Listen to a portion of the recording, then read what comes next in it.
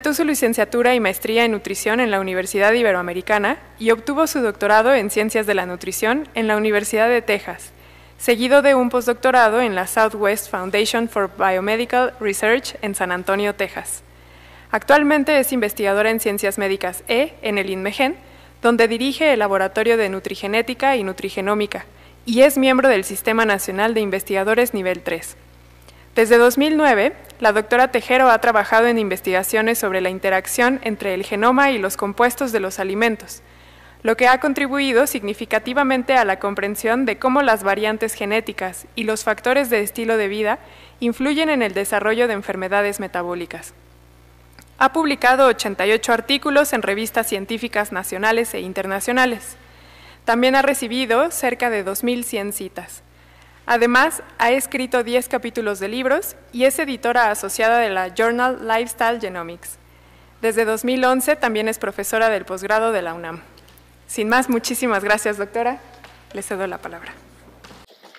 Bueno, buenas tardes a todos. Muchas gracias por su, por su asistencia eh, en esta eh, plática de, de divulgación científica vamos a abordar el tema de lo que es el estilo de vida saludable, algunos de los eh, elementos que se asocian con este estilo de, vida saludable, eh, con también la intención de eh, comentar algunos de, estos tipos de em, recomendaciones que en algunos casos tienen algún fundamento científico, de hecho en algunos casos muy sólido, en otros pues hay digamos, de información eh, pues menos, eh, vamos a decir, rigurosa, ¿no? Como base. Y eh, me gustaría también, dentro de este tema, o bueno, que incluyo ¿no? en esta presentación, un, un, aspecto que está fuertemente relacionado con el estilo saludable, que es el tema de longevidad. Entonces, todo esto pues en esta perspectiva ¿no? de lo que es lo que genéricamente denominamos como estilo de vida saludable. Entonces, em, bueno, eh, iniciemos con un par de, definiciones que son eh, han sido publicadas por la Organización Mundial de la Salud. Primero que nada, eh, ¿qué es un estilo de vida saludable o qué es una definición adecuada para, para esto? Primero que nada, que es importante recalcar, estamos hablando de una, de una conducta eh, o un conjunto de, conductas que promueven la conservación de la salud y eh, todo esto, desde luego, pues parte de una serie de decisiones individuales, ¿no? Las elecciones que hacemos a lo largo de cada uno de nuestros días, pues van construyendo nuestros hábitos y esto, a su vez, nuestro estilo de vida. Eh, la salud, ¿no? Bueno, ¿a qué es esa salud a la que aspiramos? Bueno, también es importante definirla. Es este estado completo de bienestar físico, mental y social, ¿sí? Eh, y no únicamente la ausencia de enfermedad o de afecciones, como a veces, eh, pues de manera muy limitada, eh, reconocemos a, la salud, no solo como ausencia de enfermedad. ¿no? En realidad, pues este es un, término mucho más complejo y precisamente este estilo de, vida saludable va a, incluir estos distintos componentes, ¿no? no únicamente eh, digamos, el, estrictamente físico o, mental, ¿no? sino también eh, hay elementos eh, sociales de mucha importancia en este estilo de vida saludable. Y, digamos, a lo que aspiramos con este estilo de vida, pues es precisamente a mantener este estado completo de bienestar en estos, estas tres esferas ¿no? que hemos mencionado, física, mental y social. Bueno, ¿cuál es el objetivo de, eh, tener un estilo de vida saludable? Además, pues también hay que eh, recordar o tomar en cuenta que este es un tema que ha, cobrado una enorme fuerza, pues, las, bueno, desde que yo empecé a estudiar nutrición, que ya hace bastante tiempo, ¿no? ya eh, se hablaba de la alimentación, no estaba muy, muy reconocido como uno de los elementos asociados eh, con algunos de estos objetivos, ¿no?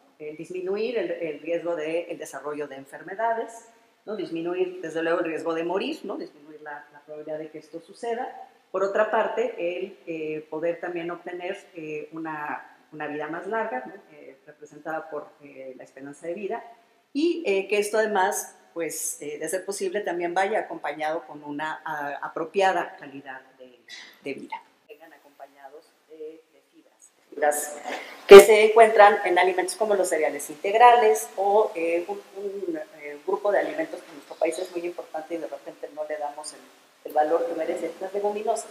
Alimentos como los frijoles, las lentejas, los garbanzos son eh, alimentos que contienen eh, hidratos de carbono complejos, contienen proteína, contienen fibra y contienen además pues, otra, eh, un conjunto interesante de sustancias que tienen actividad biológica. Entonces, digamos, vean el contraste ¿no? entre alimentos como estos que les estoy mencionando y esta categoría de alimentos ultraprocesados.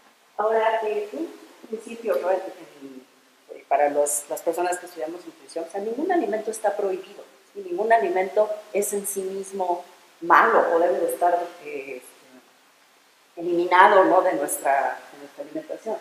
Aquí el, punto que es muy importante, eh, vamos a, verlo en un, momento, eh, tiene que ver, uno, con las porciones, el tamaño de las porciones y qué cantidad de la energía que consumimos en un día, o sea, qué porcentaje de las kilocalorías que consumimos proviene de eh. Porque algo que ocurre eh, de una manera importante es que estos alimentos, por ejemplo, pueden desplazar a otros que desde el punto de vista de su contenido de nutrimentos y de sustancias reactivas eh, pues, sean mucho mejores. ¿no? Y pues bueno, estos alimentos tienen además pues la facilidad de que vienen empacados, son fáciles de no se necesita, eh, digamos, estructura muy complicada para conservarlos, de hecho están hechos para, para que tengan personalidad eh, lo más eh, larga posible, etc. Entonces se vuelven alimentos prácticos, son desde luego también muy palatables, esto es, son agradables al gusto, pero pues tienen todos estos inconvenientes que, que mencionamos, ¿no? sustituyen a otros alimentos, aportan en muchos casos mucho más energía de la de la que necesitamos y además de eh, pues, contribuir también al desarrollo de algunos eh, problemas eh, de salud relacionados con el desequilibrio de, la cantidad de energía que consumimos. Esto es, que terminemos consumiendo mayor energía que la que necesitamos y lo que va a ocurrir entonces es que ese excedente de energía se almacena en el organismo en forma de tejido entonces, eh, digamos, eh, esta clasificación no es que sea mejor que otras, hay muchas maneras de clasificar a los alimentos. Eh, me pareció importante mencionar esta porque es, un tema que, se, que, pueden ustedes encontrar mucho en la literatura científica y que además también se, el, concepto de alimento ultraprocesado ¿no? se ha utilizado mucho también con la intención de decir o comunicar un mensaje al público de, bueno, este conjunto de alimentos eh, debería consumirse en cantidades muy moderadas, muy limitadas, o puede totalmente eliminarse de la, de la dieta y no pasa nada. O sea, nadie le va a poner la prohibición de consumir cualquiera de, estas, de estas cosas. Eh, un lugar importante hay que mencionar tienen las bebidas azucaradas. Eh, esto también se ha estudiado mucho a través de, de las últimas décadas eh, puede ser un consumo, o representar un consumo muy importante de energía, es decir, pues una, eh, por ejemplo, un, vaso de 200 mililitros, de, 240 mililitros de pues aporta una cantidad, eh, pues no tan, tan despreciable ¿no? de, kilocalorías, además de un tipo de azúcar, un tipo de edulcorante que tiene efectos metabólicos muy importantes que merecerían toda una plática aparte, esto es el, eh, jarabe de maíz alta fructosa, que es un edulcorante muy utilizado en no solo las bebidas eh, alimentos, y que hay una evidencia científica también muy eh, sólida de que eh, este tipo de edulcorante, que si bien es muy utilizado en la industria porque es barato, porque es, digamos, es muy fácil de utilizar en, estos, en, estos, alimentos, es palatable, pero como les menciono, eh, la, fructosa en esa cantidad y en este tipo de vehículos se convierte en una sustancia que tiene efectos metabólicos indeseables y que promueve eh, o contribuye al desarrollo de enfermedades como la hipertensión, que bueno, tiene efectos sobre la regulación de la presión arterial. Y bueno, podríamos extendernos mucho hablando de, eso, ¿no? Pero Eh, vamos a continuar con el siguiente punto. Muy bien. Eh, un momento. Bueno, eh, no hay ningún alimento prohibido, no hay ningún alimento este, que nosotros deberíamos necesariamente eliminar del, mercado. Eh, todos pueden ser, todos pueden caber en nuestra alimentación, pero predominantemente esta tiene que incluir alimentos no procesados o moderadamente procesados, y aquí vemos el contraste de dos eh, conjuntos de alimentos que tienen la misma cantidad de energía, o sea, las mismas 1450 kilocalorías que se pueden ir en un desayuno ¿no? comercial, que eh, aquí vemos que representa, por ejemplo, una de estas bebidas que pues van eh, preparadas con crema y azúcar, ¿no? y una cantidad importante de energía, y pues eh, este tipo de, de, bocadillos que pues sí son, son muy ricos, pero pues tienen una aportación muy importante de energía. ¿sí? Y versus lo que podría ser incluso la alimentación completa de un día, ¿sí? o estas mismas 1450 kilocalorías para una persona eh, de complexión pequeña, pues pueden ser suficientes, ¿no? Para eh, alguien que lleva a cabo una actividad física eh, sedentaria, ¿no? Y que, pues, digamos, es de una estatura pequeña, en fin, pues puede tener más que suficiente con estas 1450 kilocalorías en un solo día, ¿no? Y vean aquí la composición de los... Para empezar, un punto patrón de alimentación que tiene una de las características fundamentales ¿no? de una alimentación saludable, que es la variedad, ¿sí? la variedad de eh, grupos de alimentos. Entonces, bueno, tenemos aquí representadas frutas, verduras, eh, puede ser como una sopa de pollo, de pescado, eh, estas que también, estas eh, oleaginosas, que es el término más adecuado para denominar a estas almendras, nueces, ¿no? que son alimentos también muy saludables, Nada más que aquí eh, sí hay que ser eh, muy cuidadosos con el tema de las porciones. ¿no? Eh, son muy saludables, tienen muchos beneficios para la salud por el tipo de grasa que contienen y compuestos químicos que tienen efectos positivos para la salud, pero tienen lo que se llama una densidad energética muy elevada. Es decir, en 100 gramos de cacahuates, nueces, almendras, lo que les guste, ¿sí?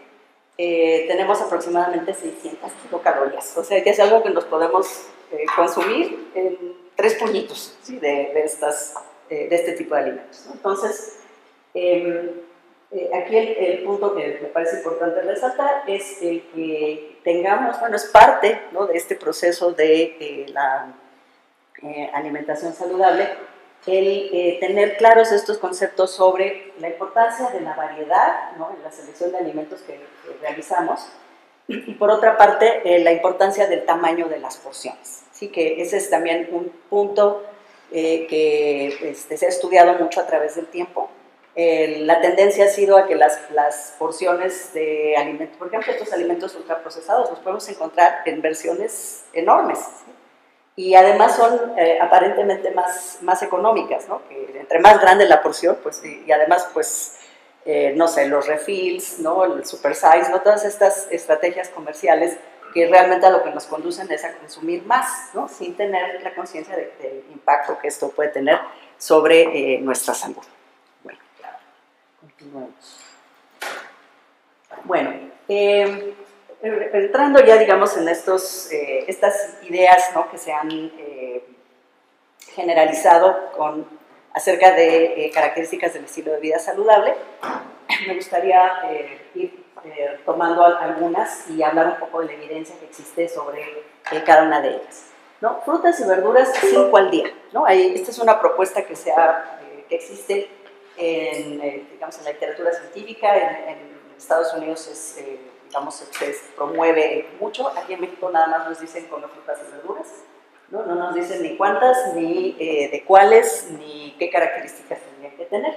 Bueno, en realidad, eh, de acuerdo a numerosos estudios, eh, esta recomendación de 5 al día entre frutas y verduras es, es suficiente, ¿sí? O sea, puede aportarnos una cantidad de, de fibra ¿no? y de algunos otros compuestos que son, que están presentes en estos alimentos, eh, ¿qué hay que decir? Como mencionaba yo en el caso de las leguminosas, ¿no? eh, los alimentos de origen vegetal, sobre todo, digamos, en sus formas no procesadas o muy poco procesadas, son realmente eh, muy valiosos desde el punto de vista de su contenido de eh, vitaminas, nutrimentos inorgánicos que también son conocidos como minerales, fibras, las fibras que son extraordinariamente importantes en nuestra salud. Tenemos la idea que solamente para el proceso de la digestión, pero es mucho más allá de eso. Las fibras que están presentes en los alimentos de origen vegetal tienen muy diversas funciones en el organismo, posiblemente algunos de ustedes conocen eh, el, término microbioma y la importancia de sus, de sus, funciones en la salud humana. Bueno, pues las fibras son algunos de los grandes eh, recursos ¿no? que permiten mantener la diversidad del microbioma. ¿Y de dónde vienen pues estos alimentos de origen vegetal no procesados o mínimamente procesados? Y aquí tenemos, eh, particularmente en el caso de este grupo de frutas y verduras, que esta recomendación es una buena guía. Sin embargo, esta otra recomendación publicada eh, por estas autoras, eh, va un poco más allá y propone lo que se llama un patrón de alimentación basado en plantas. Eh, hay que, digamos, ser eh, con este concepto.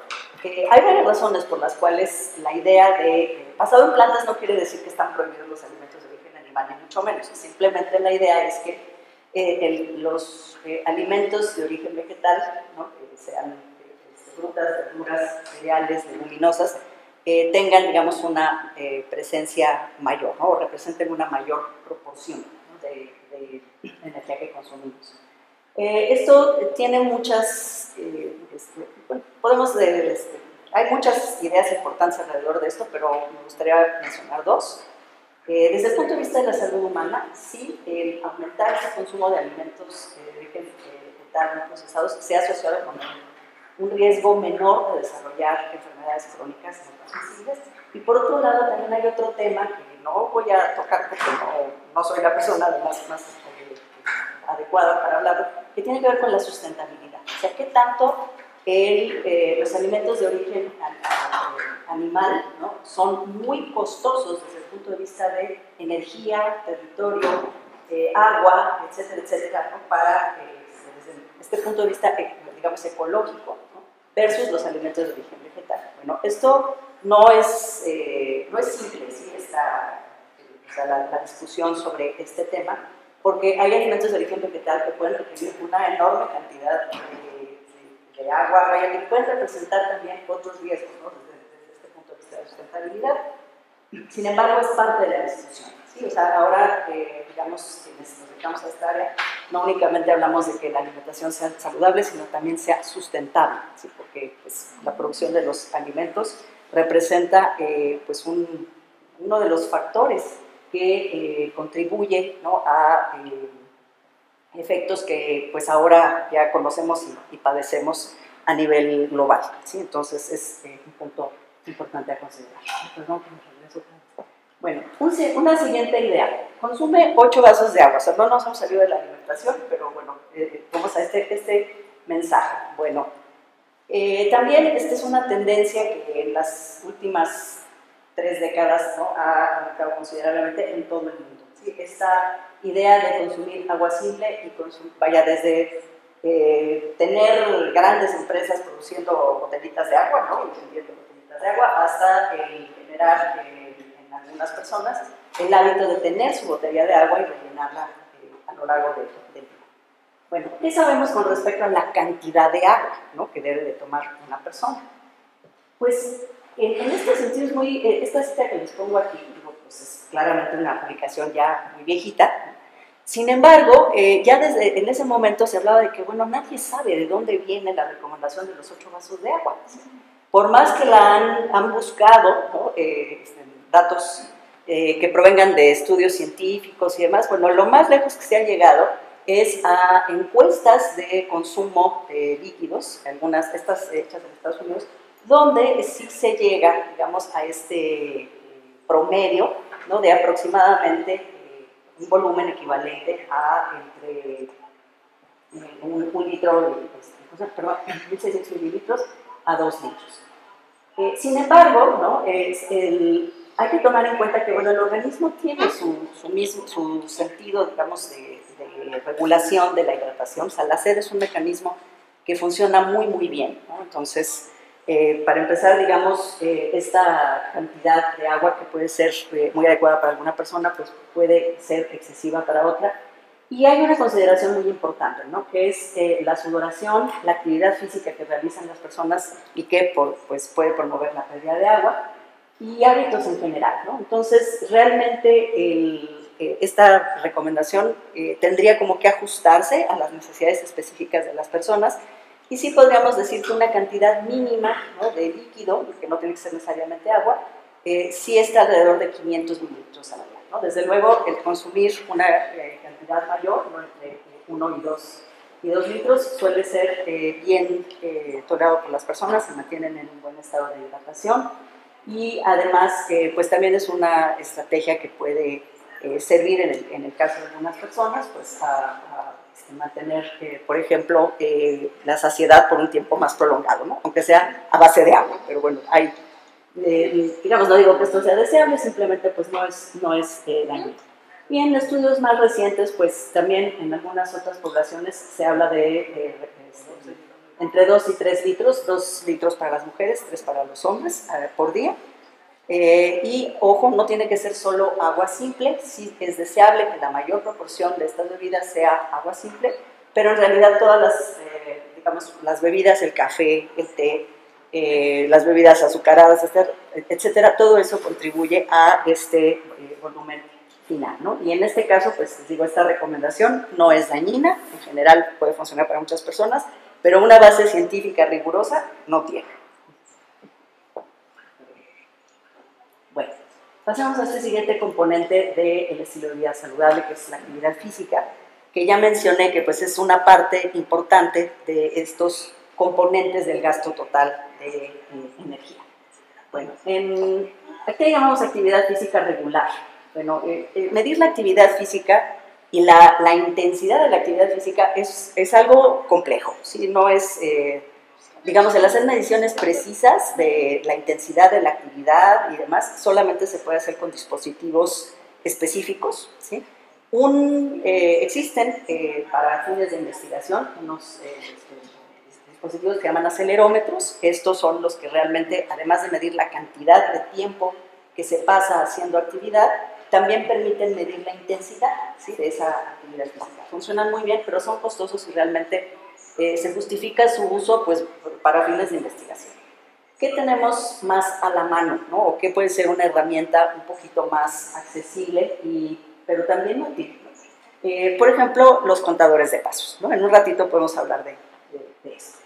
Eh, antes de pasar a ese punto, no me gustaría mencionar, bueno, los beneficios de la actividad física son muchísimos. Es realmente, digamos, estamos hablando en términos de gasto de energía, pero en realidad no existe una amplísima y muy bien eh, desarrollada evidencia científica sobre los efectos de la actividad física, claro, ciertos tipos de actividad física, sobre la conservación de la masa muscular y la preservación de la masa ósea, ambos, ambos procesos fundamentales para mantener la salud, particularmente conforme vamos avanzando en edad.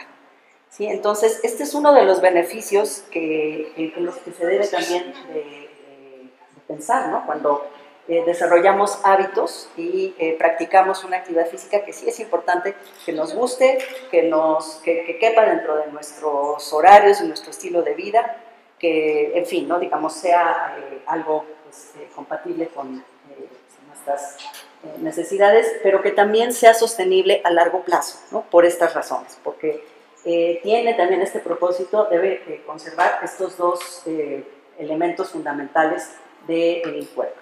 Además, digamos, los beneficios para la salud mental, no, pues, no profundizaré en esto, pero es algo que también está muy, muy bien eh, documentado, ¿no? el que eh, en la práctica de actividad física regular, por ejemplo, puede eh, facilitar la relajación, mejorar la calidad del sueño y algunos otros beneficios generales. ¿no? Recuerden ustedes que hablábamos de la salud como un estado eh, en el cual ah, tenemos eh, tanto nuestras características eh, físicas, mentales y sociales ¿no? en condiciones de, bienestar.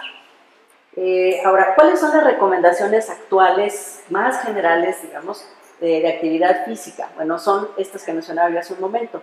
30 minutos al día ¿no? de actividad física que vaya de moderada a intensa. ¿Qué actividad física puede ser este, considerada como moderada? Bueno, caminar rápidamente, ¿sí? algo tan, tan simple como eso, que se puede considerar como una actividad moderada hay que sostenerlo por lo menos 30 minutos, ¿sí? O pueden ser periodos breves, ¿no? De 10 minutos y demás, pero que alcancen a sumar esta, esta cantidad. Y que por lo menos esto ocurra eh, cinco veces a la, semana, ¿no? Son estos 150 minutos eh, a la semana de los que hablábamos hace, hace un rato. Ahora, eh, este es un concepto que posiblemente no todos conozcan. El término está en inglés, ¿no? NEAT, Non-Exercise Activity Thermogenesis, es decir, eh, la termogénesis o la generación de calor, ¿sí? que se produce a partir de actividad física que no es ejercicio. Y esto es un componente muy, muy interesante de la actividad física. ¿no? Por eso también al inicio les mencionaba yo que es distinto a actividad física de ejercicio. Y bueno, este componente, que vamos a dejar el nombre en inglés de NIT, es precisamente toda esa actividad que hacemos eh, que no cabe, digamos, en la definición de ejercicio como una actividad programada, definida. Caminar, desplazarnos, eh, las actividades cotidianas, la limpieza de una casa, el ir al supermercado, estas recomendaciones de bájese a una estación antes, ¿no? para que camine un poco más, no se estacione tan cerca, no use el automóvil para todo. Bueno, tienen que ver precisamente con aumentar el gasto de energía eh, por este concepto. Y eh, bueno, bueno, aterrizando, digamos, esta, la importancia de esta actividad NIT, eh, me gustaría eh, hablarles un poquito pues, de esta otra recomendación. Camina 10.000 pasos al día. esta recomendación puede que no sea tan desconocida porque se ha popularizado muchísimo y entre otras cosas precisamente por la proliferación de herramientas para contar los pasos, los famosos contadores de pasos que hay eh, digamos, desde aplicaciones hasta, vaya, teléfonos inteligentes que ya vienen, ¿no? Con una aplicación para eso. Y son bastante útiles y es una de las maneras en las que precisamente podemos eh, saber, ¿no? Cuánta de esta actividad, que no necesariamente es, eh, ejercicio, o por, lo menos, digamos, por el acto de caminar, qué tanto estamos gastando. Bueno, estos son los resultados de un metaanálisis muy reciente en el cual precisamente no cuestionaban esto de los 10.000 pasos. Decían, bueno, ¿de veras tienen que ser 10.000? O sea, si son 9.999 esa diferencia, ¿no? ¿O cuál es la, la relevancia ¿no? de ese número?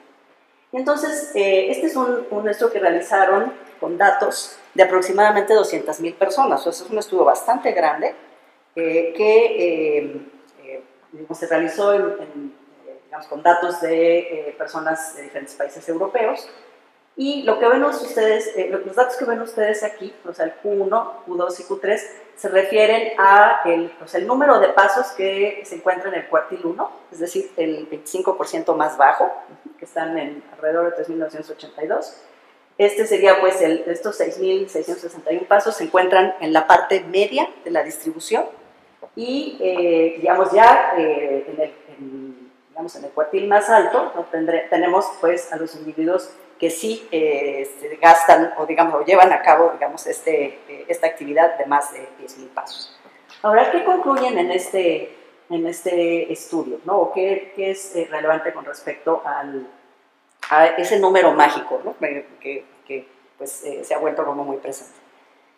Bueno, entre otras cosas, el número parece venir más bien de una campaña de mercadotecnia, que ¿no? Que estas, estas, y es además un número que originalmente estaba eh, expresado en japonés.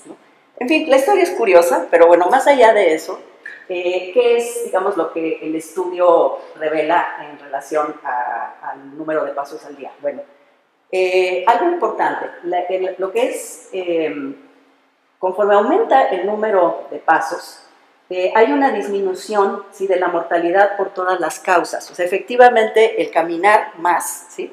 disminuye la probabilidad de morir en general, ¿sí? por todas las causas. Hay eh, dentro de este mismo estudio la categoría de eh, eh, también enfermedades este, crónicas no transmisibles, pues muchas de ellas asociadas con la obesidad, ¿no? como enfermedades como la diabetes, la enfermedad cardiovascular. Bueno, ese grupo de enfermedades también parece disminuir ¿no? en probabilidad conforme aumenta el número de pasos, pero pues como ocurre en todos los sistemas biológicos, hay un límite, ¿sí? no podemos caminar este, interminablemente, ¿no? O sea, hay un, hay un eh, valor, digamos, a partir del cual ya no se encuentran eh, beneficios para la salud. Y ese valor no necesariamente son los 10.000 pasos, ¿no? Ya se, se, empiezan a ver, eh, digamos, diferencias importantes pues alrededor de la, del valor de la, de la medida. Ahora, esto me parece que es algo muy importante mencionar. hay evidencia de que, de que eh, digamos, se previenen enfermedades específicas, esto sí no es muy claro, ¿no? O sea, desde luego aquí hablamos de metaanálisis, la incorporación de datos de distintos eh, grupos, donde eh, la estimación de todo esto se ha hecho de manera estadística. Pero, digamos, un estudio prospectivo, ¿no? En el cual pues, se haya seguido la actividad de las personas a través del tiempo y demás, bueno, no, no existe como tal. Y también creo que eh, eh, es importante ¿no? el que no hacer automáticamente ¿no? la, la, inferencia, ¿no? aquí vemos una relación inversa ¿no? entre el número de pasos y el, riesgo de mortalidad.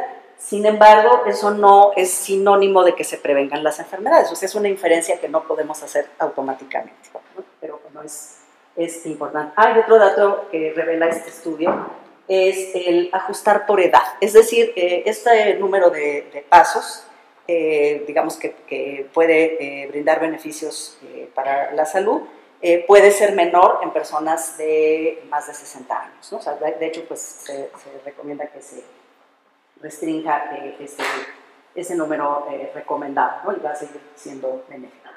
Ahora, este estudio, que es, es una, una publicación de revisión, no es un estudio eh, se, se, centra en los beneficios muy específicamente de caminar, ¿sí? no de la actividad física en general, sino particularmente en esta actividad. Y eh, como mencionaba hace un momento, o sea, son tantos los beneficios de la actividad física y, aquí concretamente ¿no? de la actividad de caminar. Eh, y, muchos de ellos están muy bien caracterizados a nivel molecular, ¿no? están, eh, digamos, pues bien descritos, eh, por ejemplo, efectos eh, de tipo endocrino, eh, la regulación epigenética, ¿sí? es, decir, la regulación de la expresión de genes, la regulación de los ciclos celulares, y realmente pues es, es a nivel de muchos órganos, ¿no? muchos órganos y sistemas del organismo que se pueden identificar estos beneficios. Entonces es, es realmente pues una actividad eh, importante y bueno, pues el conteo de pasos puede ser únicamente una herramienta para eh, este, eh, considerar, pues para tener un dato cuantitativo, que, que, bueno, ese suele ser útil como guía. Bueno, aquí brevemente lo que me, gustaría que este, resaltáramos es el papel que tiene esta, este gasto de energía o esta termogénesis eh, no asociada al ejercicio. Y eh, tenemos aquí pues la categoría ¿no? de actividad sedentaria, moderadamente activa o muy activa.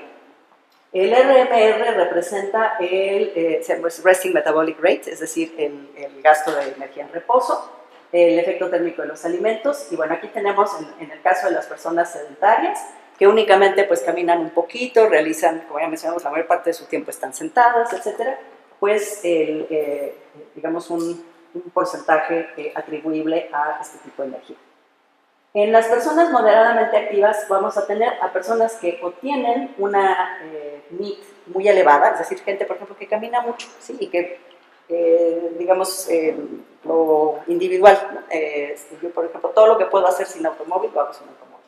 Entonces, es una manera como de, de obligarnos a mantenernos activos.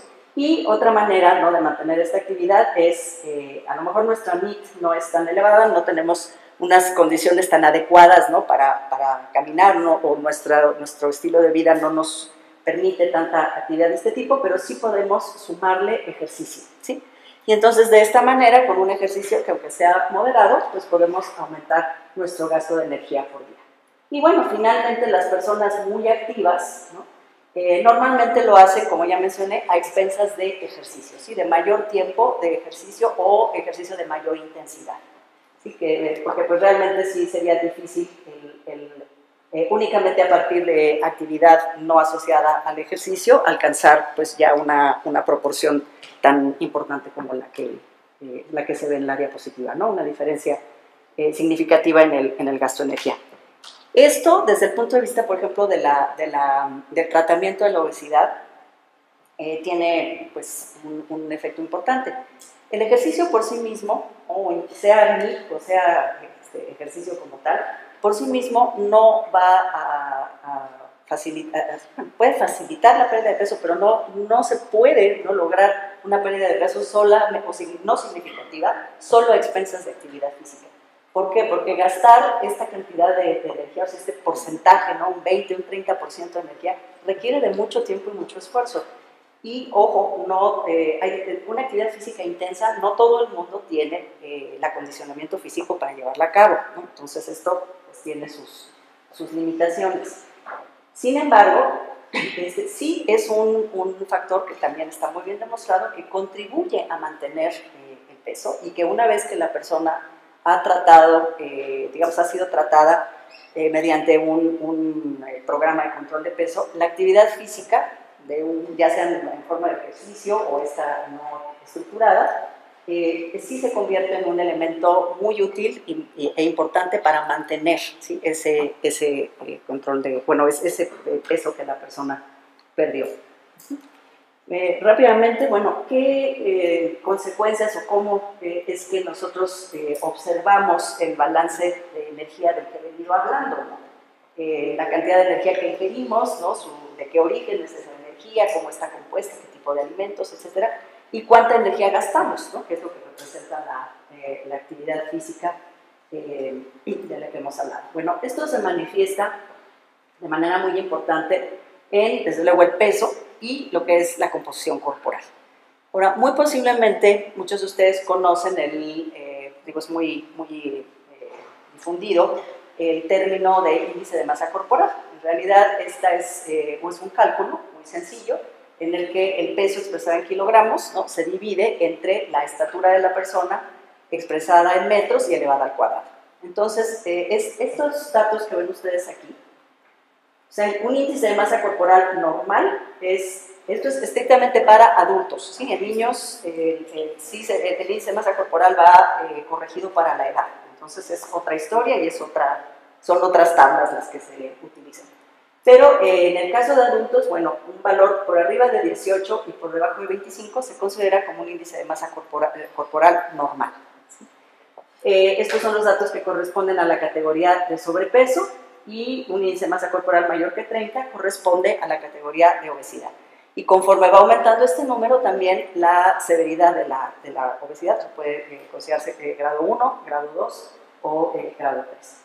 Sin embargo, si bien este índice de masa corporal ha sido muy útil, ¿no? es fácil de calcular, eh, permite hacer clasificaciones eh, rápidas y sencillas ¿no? de eh, individuos y de grupos en estas categorías, no es un indicador de la composición corporal. Y aquí entramos, o retomamos un poco este punto que yo mencionaba, sobre la importancia de la masa, la masa muscular, ¿no? la masa libre de grasa, que es, eh, digamos, la masa muscular más algunos otros componentes. Eh, en esta imagen, eh, desafortunadamente en este tamaño la resolución no se ve muy bien, una disculpa por eso.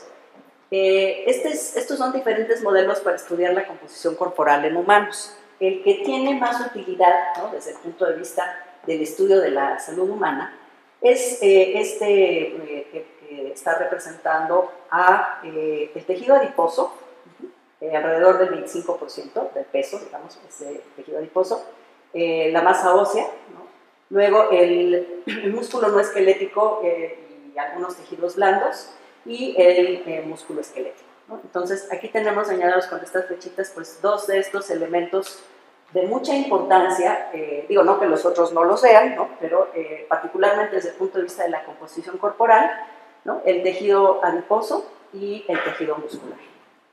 En este ejemplo, o en esta comparación, eh, espero que la, la, distancia se vea eh, la diferencia eh, que se trata de resaltar. Se trata de personas que tienen el mismo peso y la misma estatura, y el, mismo índice de masa corporal, pero con una muy diferente composición corporal. Entonces, de ahí la importancia de que en, este, en esta búsqueda, ¿no? el desarrollo de un estilo de vida saludable, no únicamente nos enfoquemos en el peso o esta relación peso para la talla, sino que tengamos también conciencia, ¿no? digamos, no es indispensable medirla ni tener un, instrumento eh, en casa para hacerlo, pero eh, sí es importante tener eh, en cuenta ¿no? que este balance de energía, la práctica de actividad física, etcétera, tiene también efectos sobre la composición corporal. ¿Y qué es lo que nos interesa? Bueno, mantener un porcentaje de grasa saludable, ¿sí? no, no necesariamente, esto pues creo que es muy, muy eh, claro y también está bien demostrado, un porcentaje de grasa eh, por debajo ¿sí? de lo que se considera eh, este, recomendable es algo que puede ser muy dañino para la salud, particularmente para las mujeres. ¿sí? Esto altera gravemente pues, los ciclos reproductivos, puede tener efectos también dañinos sobre la salud ósea eh, además de ser una composición corporal difícil de mantener, ¿no? digamos, personas que compiten en deportes que demandan cambios en la composición corporal, eh, este, pues lo, lo, refieren, ¿no? Como es una composición corporal incómoda, ¿no? Porque, vaya, las personas incluso pasan frío, ¿no? Tienen mucha masa muscular y demás, pero eh, su, su, masa grasa es muy escasa, como mencioné, particularmente en el caso de las mujeres, pues solamente quienes practican este tipo de actividad para las personas, y eso por temporadas cortas, ¿sí? Eh, temporadas muy limitadas. Eh, ¿En dónde están los parámetros eh, saludables ¿no? del porcentaje de grasa? Bueno, en el caso de las mujeres, entre el 20 y el 25%. Todavía, digamos, por arriba del 30% es que ya se considera que existe obesidad. Y una persona que tenga un índice de masa corporal dentro de los valores normales puede tener un porcentaje de grasa que esté dentro de los parámetros ya de la obesidad. ¿Por qué? Bueno, pues por falta de actividad física, por patrones de alimentación que pues no son los más recomendables, pero de manera muy, muy importante, eh, la actividad física impacta ¿no? en este, eh, esta, eh, por un lado, conservación de la, de la, masa muscular y por otro lado, este, utilización o mantenimiento, digamos, entre parámetros normales de la, de la masa grasa. Eh, hemos hablado de caminar. ¿Caminar contribuye a, este, a estos beneficios? Bueno, sí, hay eh, evidencia de que, eh, desde luego, pues caminar gasta energía, tan sencillo como eso, contribuye pues al, balance energético, tiene beneficios sobre la salud ósea, o sea, sobre el mantenimiento de la densidad ósea, sin embargo, no tiene un beneficio muy evidente en cuanto a la conservación de la masa muscular. La conservación eh, o el desarrollo incluso de la masa muscular están vinculados con una actividad física eh, que es más demandante, digamos, desde el punto de vista de, eh, contracción muscular, ¿no? de, fuerza, y que tiene que ver con actividad que, mm, bueno, se utiliza el término de resistencia, pero es resistencia, por ejemplo, a vencer peso, ¿no? o, a, vencer, por ejemplo, el, en cuanto a la conservación de la masa muscular puede, realizarse este esfuerzo de desarrollo, con la masa muscular, con, digamos, actividad física, distintas eh, estrategias más demandantes, eh, definitivamente, de, eh, digamos, el, el, desarrollo y la conservación de, que tiene que ver con únicamente actividad que pues, no, no se va bueno, se utiliza el término de resistencia, pero es resistencia porque deja la, peso, digamos, por, los, por ejemplo, trae esta recomendación de que la actividad física pues no sea puede, puede realizarse este esfuerzo de desarrollo, digamos, de este tipo gasto de energía, sino que también tenga estos otros beneficios. Definitivamente, pasamos a este otro componente, el desarrollo y la conservación que eh, tiene que ver con particularmente actividad que no, no se va a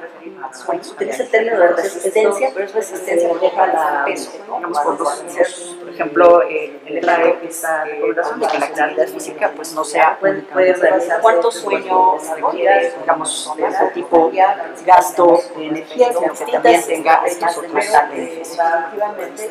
Pasamos a este otro componente, el desarrollo y la necesidad que eh, tiene que ver con particularmente actividad que no, no se va utiliza el término de resistencia, es resistencia a la peso, digamos, por ejemplo, eh, el la esa sobre la actividad física, pues no sea, puede realizar cuánto sueño requiere, digamos, de este tipo de gasto de energía, que también tenga estos otros a través de los prolongados. Pasamos a cierto componente, el desarrollo de la que tiene que ver con particularmente algo tecnológico me parece muy importante destacar es resistencia, las necesidades, una manera de si las personas se sienten satisfechas, o sea, puede, puede decir cuánto sueño, digamos, tipo gasto,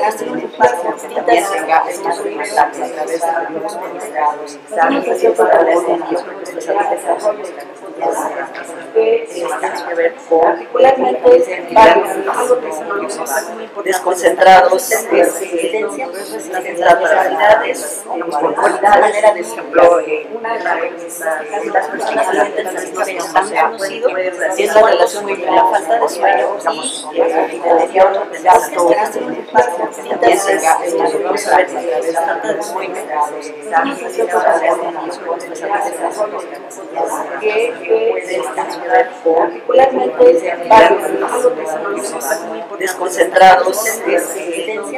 si la de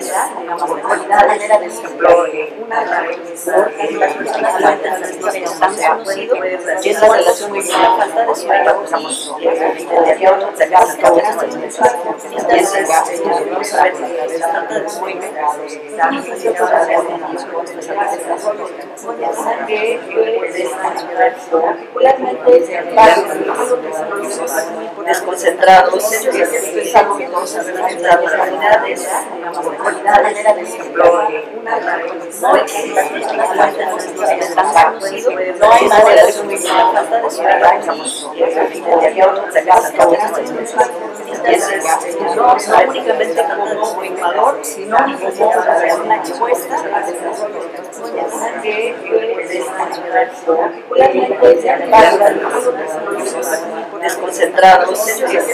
que no se las realidades, la manera de ejemplo, no hay manera de sumir la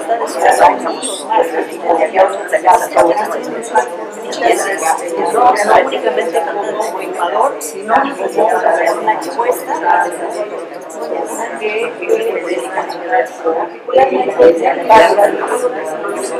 desconcentrados, se las realidades, la manera de ejemplo,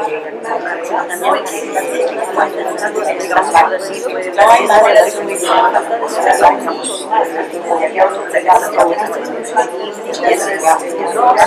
prácticamente como fumador, sino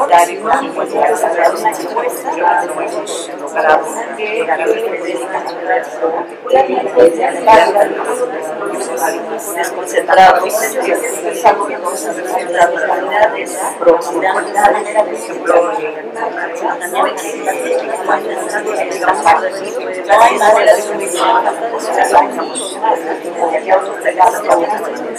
que conducir ¿no? este, eh, estas ideas alrededor de, lo que es el estilo de vida saludable hacia el tema de la longevidad. Bueno, las zonas azules son cinco y aquí proponen una más. Aquí proponen una más.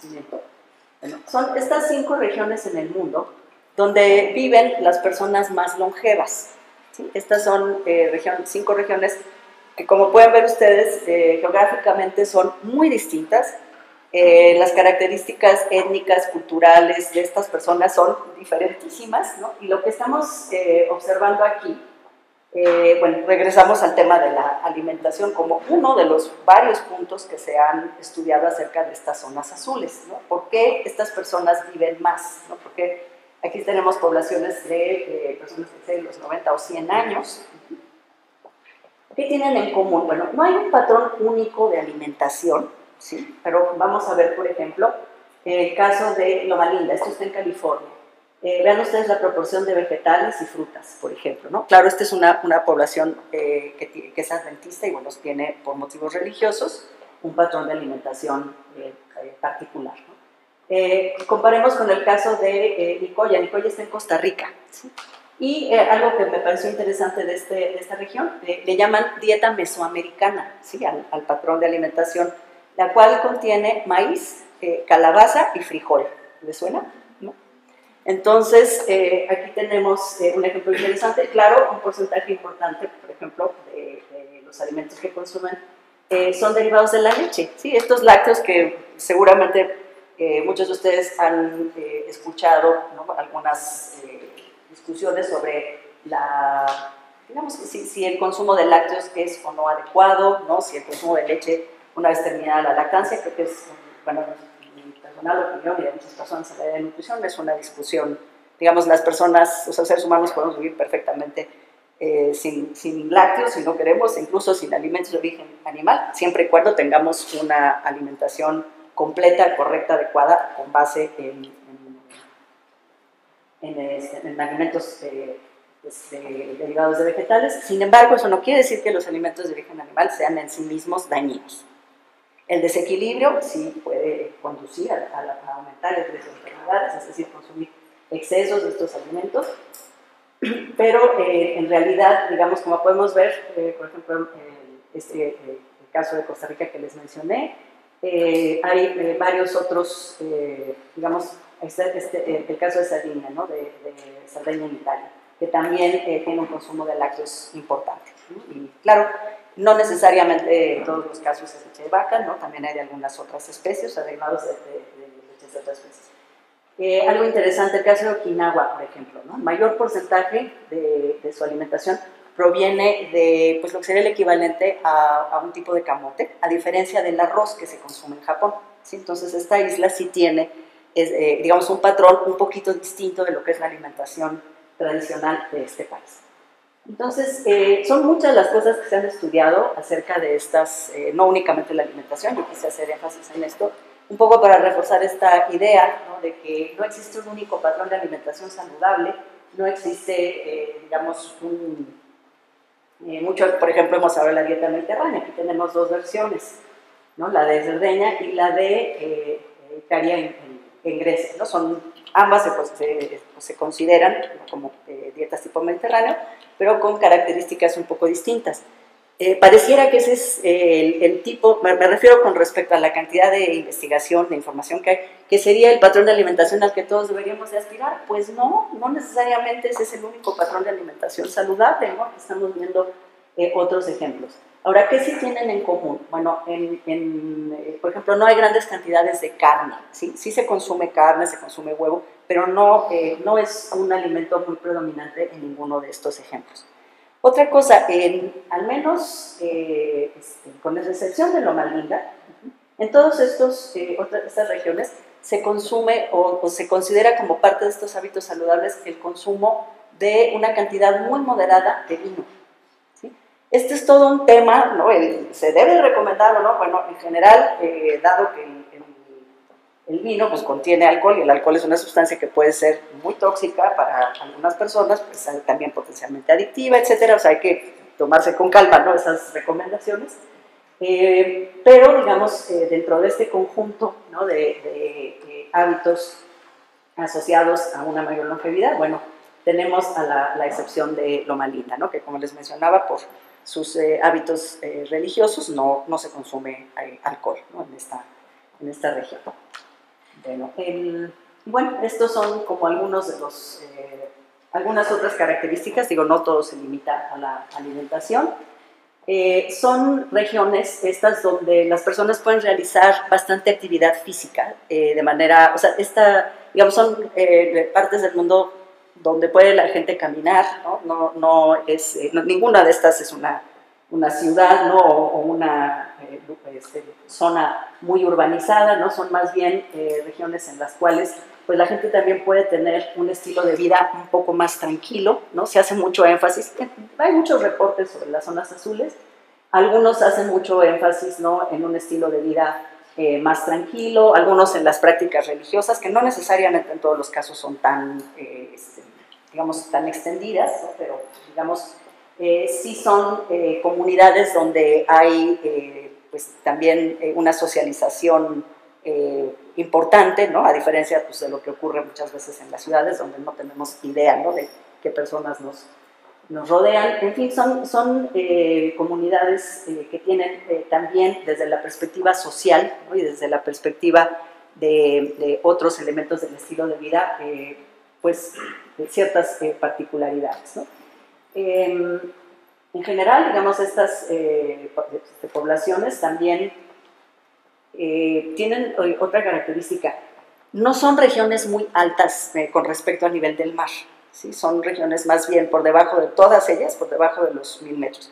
Si esto es relevante o no para la conservación de la salud, no lo sabemos, o bueno, más bien la, eh, digamos, la longevidad, no lo sabemos, pero bueno, esa es una de las pocas cosas que tienen en común eh, estas, eh, estas zonas y que, digamos, no, no es que mi, mi propuesta no sea que digamos, estos son los este, estilos de vida que responden, ¿no? digamos, o que garantizan eh, una, eh, un estilo de vida saludable o una mayor longevidad, simplemente creo que sí es algo que pues amerita estudio, ¿no? y que entre otras cosas pues nos deja claro ¿no? que hay diversas situaciones, diversos, eh, sí, distintas regiones en el mundo eh, con diferentes patrones, como ya mencioné, culturales, genéticos, etcétera, y que, bueno, tienen esta, esta eh, particularidad ¿no? de vivir eh, más que la mayoría de las, de las comunidades distintas.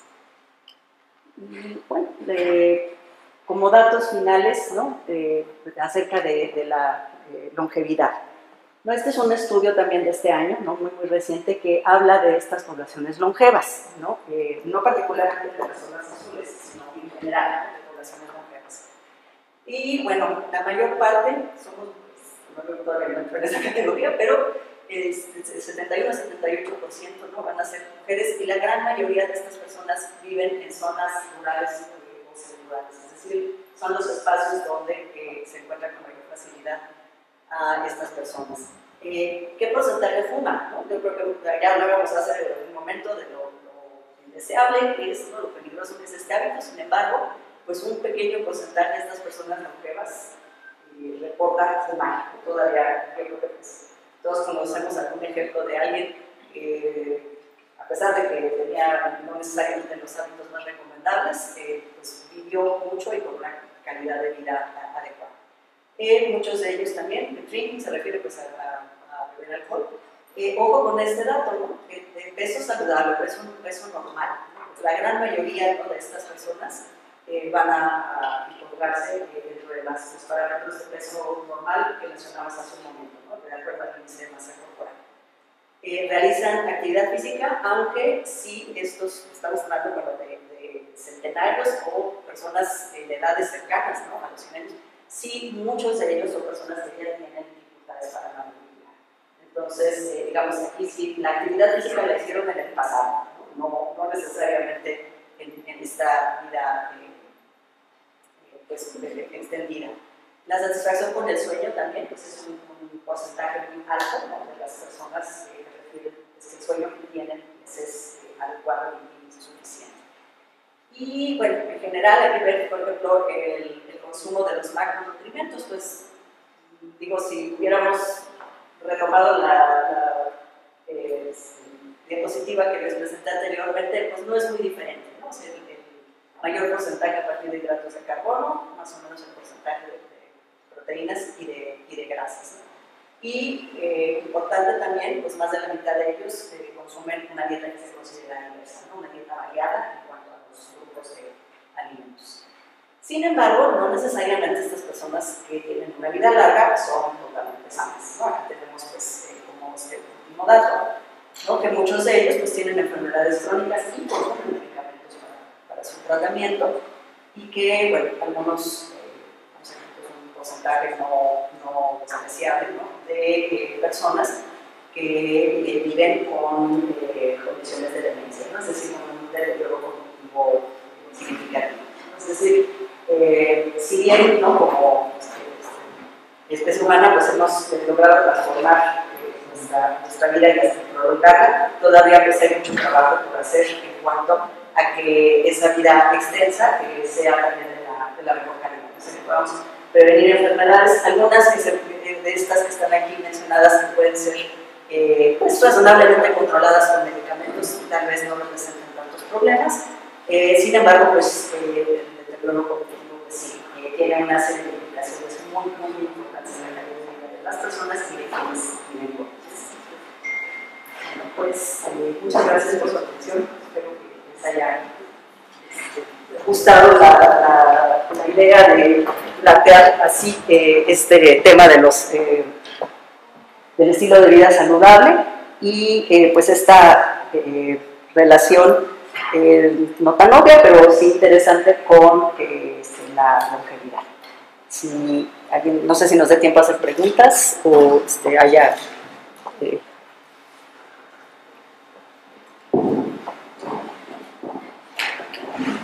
Agradecemos a la doctora Elizabeth Tejero por esta interesante plática.